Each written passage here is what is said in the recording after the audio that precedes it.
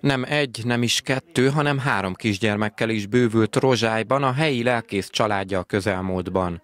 A hármas ikreket Fülöp Attila szociális ügyekért felelős államtitkár és Tilki Attila a Szatmári térség országgyűlési képviselője látogatta meg. Tilki Attila hangsúlyozta, nagy vállalás ez egy családtól, amelyet ugyanakkor ma már a támogatásokkal segíteni tud az állam minden egyes családpolitikai kedvezménnyel a kormányzat, azonban, hogy szülessen minél több magyar gyerek, hiszen mi el szoktuk mondani, hogy, hogy a, a világban jelentkező munka erő problémát mi nem idegenek betelepítésével próbáljuk meg elképzelni, hanem az arra kell odafigyelnünk, hogy a társadalomban minél több gyermek szülessen, és ehhez viszont a fiataloknak biztosítani kell azokat a feltételeket, amit egy, egy állam tud biztosítani.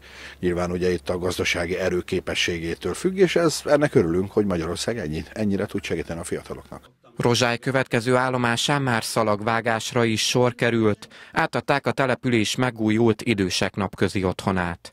Az intézményben összesen 50 idős ember ellátását biztosítják.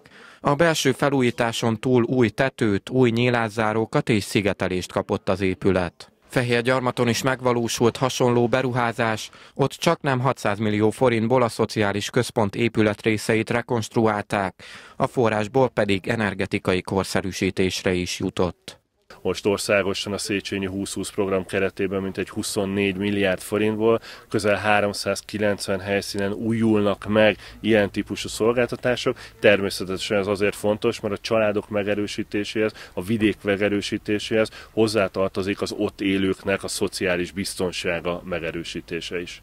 Az államtitkár nevelő szülőknél is járt fehér gyarmaton. Ennél a családnál az elmúlt évtizedekben csak nem 30 gyermeket neveltek fel ideiglenesen. Fülöp Attila szerint folyamatosan támogatni kell a nevelőszülőket, akik egy újabb támogatást kapnak, pályázhatnak elavult háztartási eszközök cseréjére írtunk egy olyan pályázatot, amelyben a nevelőszülőket foglalkoztató úgynevezett nevelőszülő hálózatok tudnak jelentkezni 266 millió forint értékben, alapvetően háztartási gépek cseréjére, illetve különösen azok a családok, ahol fogyatékossággal élő tartós beteg, nehezebb a sorsú vagy nehezen kezelhető gyermekek vannak mondjuk pszichés betegség okán, ott fejlesztő eszközökre, gondozó eszközökre, annak a cserére, annak a fejlesztésére szolgáló támogatást szeretnénk ezzel segíteni. A anyagiakon kívül természetesen, ami foglalkoztatási jogviszony, a nevelőszülő jogviszony 2014 óta, szeretnénk segíteni azon, hogy az infrastruktúrát is tudjuk fejleszteni. Az államtitkár elmondta, a kormányzat számára a családközpontú gyermekvédelem a cél.